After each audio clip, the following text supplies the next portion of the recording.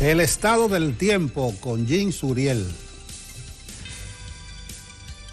Muchísimas gracias. La nube de polvo del Sahara ya empezará a disminuir en las próximas horas en República Dominicana. Esto va a permitir que la vaguada que ha incidido en nuestra zona de pronóstico pueda aportar más precipitaciones esta tarde y también durante los próximos días. Se espera esta tarde y esta noche posibilidad de lluvias moderadas hacia el sur, cordillera central, zona fronteriza noroeste y también en algunas localidades del suroeste de República Dominicana. La sensación térmica va a seguir muy calurosa también en las próximas horas debido a que estamos en verano todavía y Larry continúa al noreste de la región del Caribe con vientos fuertes y una trayectoria hacia el noroeste. Desde ayer ha generado marejada ciclónica desde Punta Cana hasta Montecristi en la costa atlántica de República Dominicana, pero también el mar de fondo se ha sentido en Puerto Rico y en las Antillas menores. Para hoy empezará a disminuir el oleaje asociado a este huracán que avanza hacia Bermuda, donde podría empezar a debilitarse.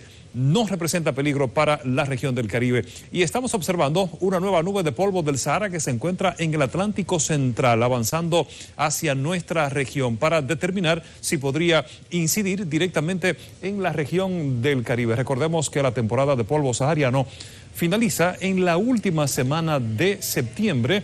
No obstante, hay posibilidad de que también en octubre alguna nube aislada pueda llegar hasta nuestra región para incidir así también con alergias respiratorias. Muchas gracias, Ayen Suriel.